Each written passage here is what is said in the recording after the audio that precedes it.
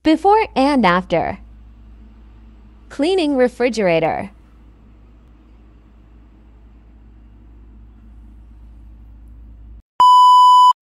Good morning Sunday. Ayan, maulan na umaga. Ito po ganap sa aking kusina. Parang may sampung bagyo na dumaan sa aking kusina.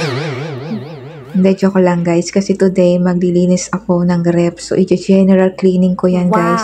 Dahil super dumi na at magulo. So, aayusin ko yan guys.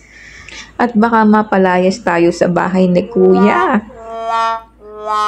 So, dahil natapos kong linisin yung mga cabinet, so ito naman, alam nyo na matindi talaga ang pangangailangan ko kaya tinodo ko na ang paglilinis ngayon. Siyempre dahil magcha-Chinese New Year na at busy na ang mga inday sa Taiwan.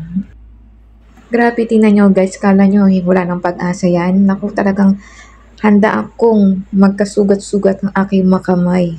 Pumuti lamang sila, di ba? So, mamaya ibabrush natin yan at lalagyan natin ng baking soda para pumuti. Ayan. Grabe, ang tigas na pala no sa dulo. Hindi ko napapansin na meron na palang ganyan. Sobrang busy ko sa buhay, guys. Tingnan nyo naman.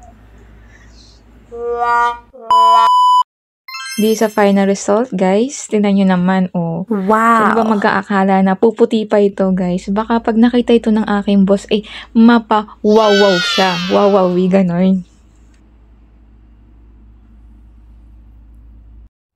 Basta lagi natin iisipin na yung ating trabaho ay isang malaking biyaya galing kay Lord. Kung ano man meron tayo ngayon, ay galing po yan sa Kanya. At dapat natin lagi natin pagpasalamat at mahalin at ingatan ang ating trabaho. Basta marangal lang yung trabaho, wala ka dapat ikaya, dapat mo itong ipagmalaki. Yun lang, thank you for watching guys, bye!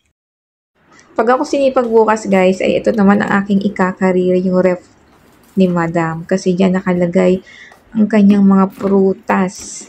Yan, dyan. Sa baba naman, mga fish niya.